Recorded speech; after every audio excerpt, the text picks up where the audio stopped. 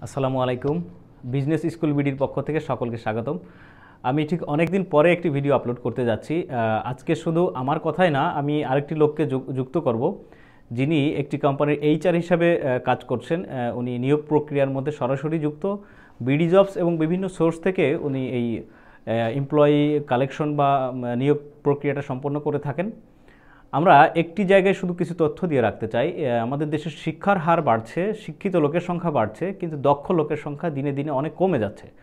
সেটার মূল কারণ কি বিশিষ্টজনেরা ভালো বলতে পারবেন, কিন্তু আমরা আজকে সরাসরি একজন রিক্রুটিং যিনি দায়িত্বে আছেন একটি প্রতিষ্ঠানের, তার মুখ থেকে শুনব যে আসলে দেশে বেকারত্বের সংখ্যা বেশি নাকি অদক্ষ অলস লোকের সংখ্যা বেশি?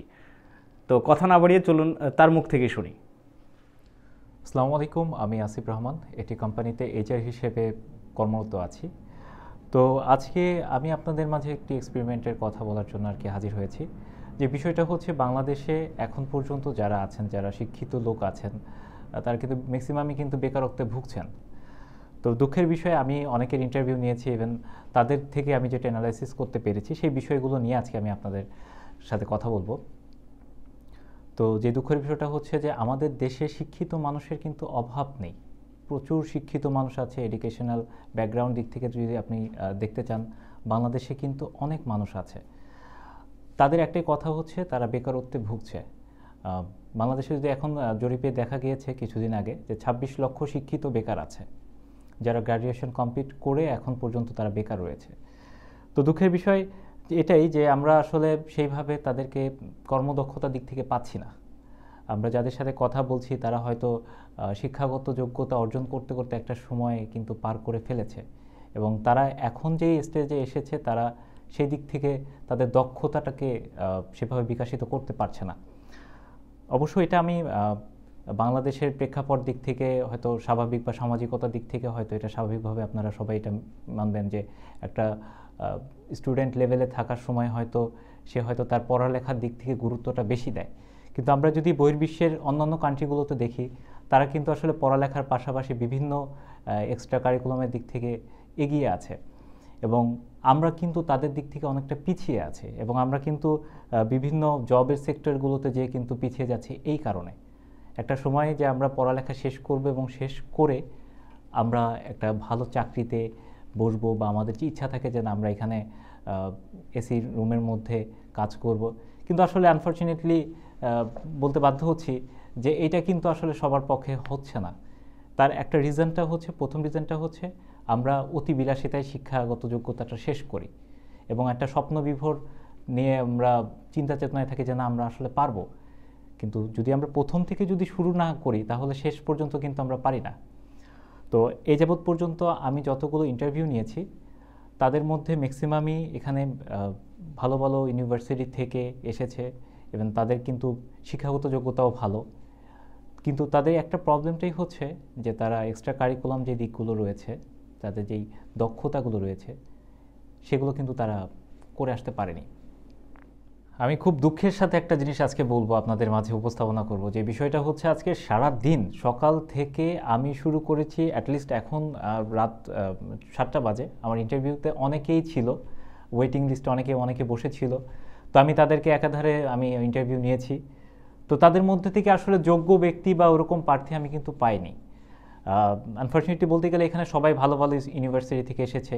কিন্তু তাদের মধ্যে দক্ষতা বলতে গেলে একদমই নেই। তারা বিভিন্ন হয়তো ওই ইউনিভার্সিটি থেকে পড়ালেখা শেষ করেই এখানে চলে এসেছে একটা ভালো চাকরির জন্য। কিন্তু ভালো চাকরিটা যে যারা নিতে পারবে, এরকম কোনো দক্ষতা কিন্তু তাদের মধ্যে নেই। আর আমি খুব হতাশের মধ্যে বলছি, আজকে এতগুলো ইন্টারভিউ নিয়েছি, আপনারা দেখতেই পারছেন। আনফর্চুনেটলি তারা কেউ সিলেক্টেড না। তাদেরকে আমি বলেছি আমাদের কোম্পানি সম্পর্কে যে আমাদের স্যালারি রেঞ্জ সম্পর্কে সব কিছু সম্পর্কে তাদেরকে বলা হয়েছে এবং তাদেরকে বলা হয়েছে সেলসের জন্য।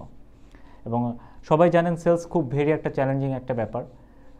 সেলসের মতো জায়গায় তারা যদি ডেভেলপ না করতে পারে, তাহলে হয়তো কোম্পানি তাদের থেকে সেভাবে কোনো কিছু অ্যাচিভ করতে পারে তাদের বিষয় থেকে আমি একটা জিনিস দেখলাম যে তাদের কথা হচ্ছে তারা আসবে, যাবে, সকালে আসবে এবং একটা টাইম মতো সে চলে যাবে এবং তার ক্ষেত্রে সে কোনো দায়িত্ব বা অন্য কোনো কিছু তারা নিতে চাচ্ছে না। তা আমি এটা খুব মানে খুবই মানে আমি হতাশ হলাম তাদের কাছ থেকে যে তারা কোনো চ্যালেঞ্জিং জব যেহেতু সেলসের জব এটা তারা নিতে চাচ্ছে না। তাহলে আপনাদের কাছে আমার একটা প্রশ্ন থাকল এখানে। যারা বেকারত্বের কথা বলেন, যে বাংলাদেশে চাকরির জায়গা নেই, আবার কোম্পানিগুলো যেখানে বলছে যে আমরা দক্ষ লোক খুঁজে পাচ্ছি না, তাদের কাছে আমার একটাই প্রশ্ন, যে আসলেই কি এই ঘটনাটা কি সত্যি? কারণ আমি আমার বাস্তব দিক থেকে কিন্তু আপনাদের কাছে কিন্তু আজকে এই প্রশ্নটা দাবি করলাম। কারণ বাংলাদেশে যারা এই জব সেক্টরগুলোতে আসছে, তাদের কথাই হচ্ছে এরকম যে তারা এখন একটা টাইম অনুযায়ী জব করবে ডিউটি করবে ডিউটি হওয়ার শেষ, তো মাসে তাকে একটা স্যালারি দিয়ে দিতে হবে। সেখান থেকে তার রেসপন্সিবিলিটি কি শেষ? তার নিজের ফিউচার তার নিজের কোম্পানিকে ডেভেলপ করার মতো কি কোনো চিন্তা ধারণা নেই? তাহলে একটা কোম্পানি কীভাবে একজন এমপ্লয়কে তার কোম্পানিতে নিয়োগ দিবে? যদি দক্ষতার বিচারে বলতে চাই, তাহলে বাংলাদেশে দক্ষ কর্মী সংখ্যা একেবারেই কম। এখানে নাইনটি পার্সেন্ট হয়তো অদক্ষ লোক আছে, বাট বাকি টেন পার্সেন্টটা কিন্তু দক্ষ আছে। কিছুক্ষণ আগে বলেছিলাম ছাব্বিশ লক্ষ বেকারের কথা। যদি সেই তুলনায় ধরতে যাই, তাহলে সেই ক্ষেত্রে ছাব্বিশ লক্ষ বেকারের মধ্যেই পঁচিশ লক্ষই হচ্ছে অলস। বাকি হয়তো এক লক্ষ যেই কর্মীগুলো রয়েছে, যারা কাজ করতে চায়, যারা নিজেকে ইস্টাবলিশ করতে চায়, তারা হয়তো সেরকম সুযোগ খুঁজে পাচ্ছে না। তো আপনাদের কাছে আমার এই প্রশ্নটাই রয়েছে যে এক লক্ষ এই কমেন্টস বা এই ইউটিউবে ভিডিওটা দেখছেন, তাদের ক্ষেত্রে আমি বলব আপনার কমেন্টস করুন যে আমরা এরকম সুযোগ পাচ্ছি না। আপনাদের ক্ষেত্রে অবশ্যই আমরা সুযোগের ব্যবস্থা করব, কারণ আমরা দক্ষ ব্যক্তি চাই। থ্যাংক ইউ একজন এইচআর অফিসারের কথা শুনলেন, যিনি সরাসরি নিয়োগ প্রক্রিয়ার সাথে জড়িত এবং নিয়োগের জন্য দক্ষ লোকের খুঁজছেন। অ্যাকচুয়ালি আমরা সত্যিকার অর্থে দক্ষ জনবল তৈরি করতে কতটুকু পেরেছি, এটা বিশিষ্ট জন এবং আপনারা যারা ভিউয়ার আছেন, তারা বিচার করতে পারবেন। সত্যি কথা বলতে প্রত্যেকটা কোম্পানি দক্ষ লোকের অভাবে ভুগছে। এবং যারা, যাদেরকে বেকার বলা হয়, আমি ঠিক ওই ভদ্রলোকের সঙ্গে একমত, জনাব আসিফুর রহমান সাহেবের সঙ্গে আমি একমত যে নাইনটি পার্সেন্ট লোকই আসলে অলস। অলস এবং বেকারের তফাত আছে। সরকার বলছে বেকারত্বের সংখ্যা জিরো আসলেই বেকারত্বের সংখ্যা জিরো বিকজ যেই পরিমাণ কর্মসংস্থান রয়েছে সেই পরিমাণ দক্ষ লোক নাই। সবাই শুধু সরকারি চাকরির পিছনে ঘুরে। কেন? সরকারি চাকরিতে কোনো দক্ষতার না হলেও একবার যদি ঢুকে পড়তে পারে, তাহলে তার সারা জীবনে নিশ্চয়তার সাথে চলে যায়। আমরা ঠিক সেই দিনটার অপেক্ষা করব যেদিন সরকারি চাকরিও খুব অদক্ষতার কারণে সরকারি চাকরি চলে যায়। তবে আসার কথা হলো, আমাদের যারা দক্ষ লোক রয়েছে, এটা জনাব আসিফুর রহমান সাহেবও বলেছেন, যারা দক্ষ লোক রয়েছে তারা হয়তো সেই সুযোগটি পাচ্ছে না। উনি, আমি ওনার ঠিক একসাথেই যোগ করতে চাই যে যারা দক্ষ লোক, যারা সৎ এবং দক্ষ, তাদের জবের প্রয়োজনে আমাদেরকে নক করতে পারেন কমেন্ট বক্সে আমরা আমাদের সর্বোচ্চ চেষ্টা করব আপনাদের সুযোগ সৃষ্টি করে দেওয়ার জন্য। সবাই ভালো থাকবেন, সুস্থ থাকবেন, আমার জন্য দোয়া করবেন। আসসালামু আলাইকুম।